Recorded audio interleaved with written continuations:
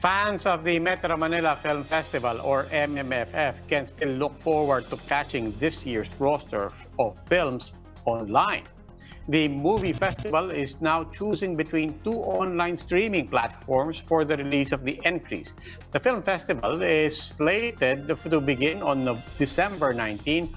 As for the 2020 MMFF parade, it will be taped at the Quezon City Circle with limited audience. Both the parade and the MMFF Awards Night will be aired on TV5.